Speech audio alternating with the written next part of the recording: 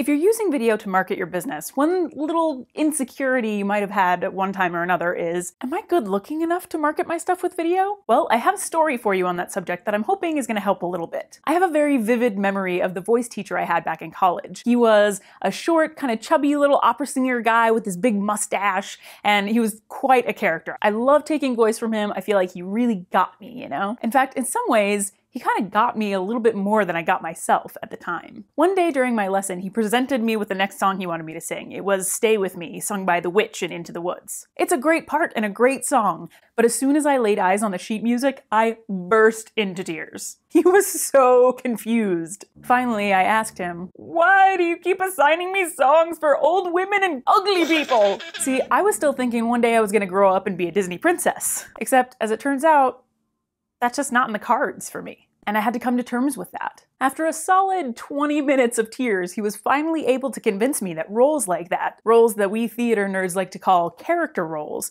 are actually some of the best roles to play. His point was, those ingenue types, the Disney princess types, they're not actually all that interesting because they're all the same. Now, here's where this starts to get really cool for you. This means you do not have to look like a supermodel to market effectively with video. You just have to embrace your type. We actors love to whine about typecasting, which is the word we use to describe what happens when directors make casting decisions based on looks alone. But the fact of the matter is, everybody does it. We all make judgments based on looks. And by nature, we're just more likely to buy from people we find attractive. So although this might be kind of a tough conversation to have with yourself, it is important at some point to think objectively about how to make the most of what you're working with, aesthetically speaking. With that in mind, here are a few things that you might want to consider when it comes to embracing your type to use video in your marketing. Number one, it's mostly about confidence. I mean, come on, how else could you explain the fact that people of all shapes, sizes, and colors and backgrounds have been able to build amazingly successful personal brands? What's the difference between them and people who aren't successful at this? Confidence, baby!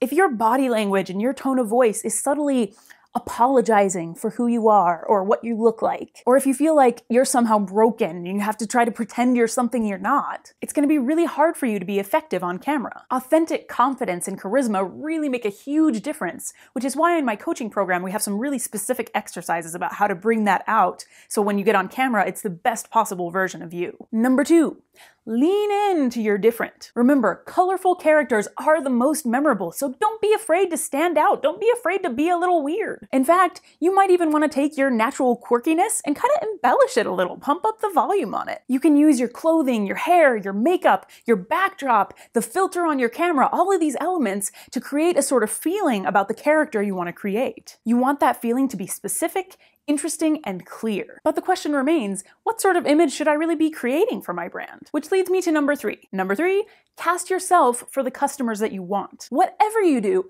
do not take this as me telling you that you have to limit your marketing only to people who are gonna find you attractive. That's not at all the point here. The point is, you do have to be clear about who you're talking to, and you have to figure out all the different things that you can do to become the type of person that this audience is going to need to see to be persuaded to make a buying decision. So if, for example, you want to attract a more high-end clientele, then you need to figure out how to give your videos that high-end look and feel. In my Captivate on Camera program, you'll learn a ton about how to achieve that high-end look on a budget, but for now, let me say this. This is not about being phony. It's not about trying to play a role of somebody that's totally foreign to you. Whether or not you realize it, we're all playing a part. Throughout our lives, we're always stepping into different personas or different versions of ourselves to achieve different outcomes. So if you're going to be playing a role anyway, why not play the part of the person your perfect customer needs you to be? Or at least do whatever you can to create the types of videos that that customer might want to see. If you're not doing that, it's highly likely that you're not making as much money yet as you could. So now that you know that, the question then becomes,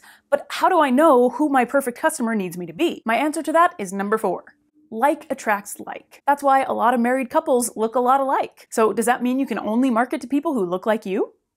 Not necessarily, but it could be helpful, at least as you're first getting started. In my experience helping people make money from their personal brands, I almost always find that some of their most enthusiastic supporters are the ones in the same age group and the ones who look and sound and feel and act and think like they do. Now, that being said, I don't want my fellow ad nerds out there being like poring through the Facebook targeting options trying to target people with brown hair and blue eyes who are 5'4 because one, it's not possible, and two, that's not the point. This is gonna happen naturally naturally. That audience is going to be naturally drawn to you. So you might be wondering, well, if that's the case, why even bring it up? Here's why. Because if you're flat broke and your life looks and feels like crap right now, unless you make some significant changes to your mindset, whether you know it or not, you're going to be attracting people who are in the same mental state as you are. This is not pseudoscience. This is straight up psychology. We naturally gravitate toward people who make us feel good period. So if you don't feel good, if you don't feel confident that you can deliver the outcome you're promising in your marketing,